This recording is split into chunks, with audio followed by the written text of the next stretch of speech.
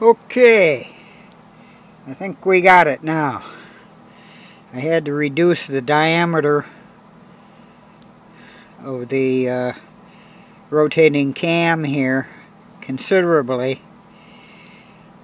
When a marble comes in,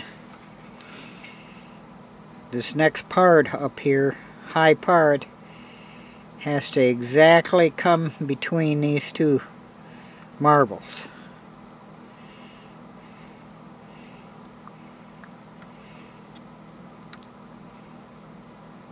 Right here.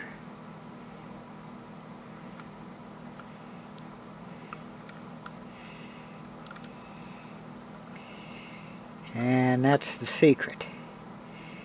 You want very little, very little bounce. Very little movement of this marble.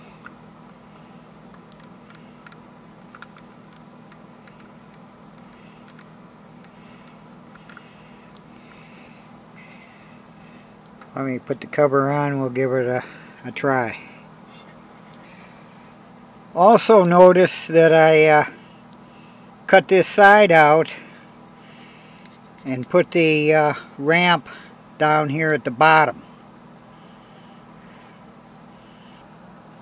Okay, now here's a shot in through the side.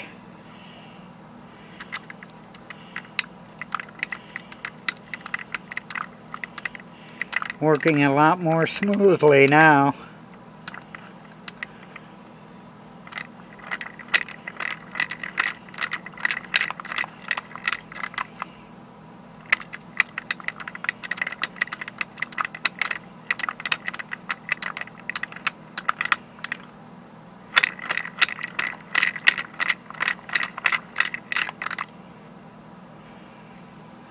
Not bad.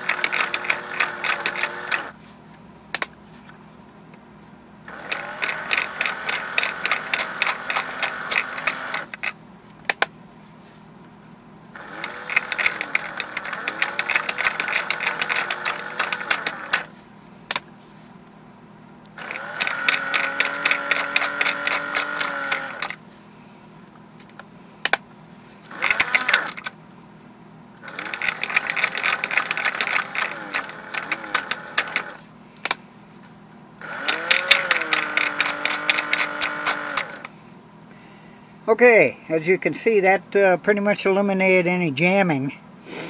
Of course you still can't go real fast up.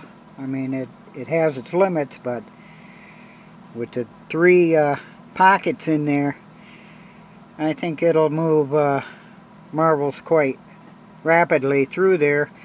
Uh, I'm looking for about uh, oh, 20 RPM on this. So now the next step I got to do is is figure out uh, where I can get a motor or a reduction uh, gear or pulley situation that'll get me down to about 20 RPM. Uh, not sure whether I'll use gears or uh, belt and pulleys but uh, that uh, will probably be about the next step I do. Okay, uh, I think what I'm going to be looking at here is a cordless uh, screwdriver. Uh, they run about 180 RPM and uh, it shouldn't be too difficult to reduce that by a factor of 9 or 10 uh, to run this. So I've got one. I'm not sure if I want to use it or buy one. I can get one at Harbor Freight for $9.95. Uh, I think that may just do the job. Uh, I'll be covering that part there in the next video. Thank you.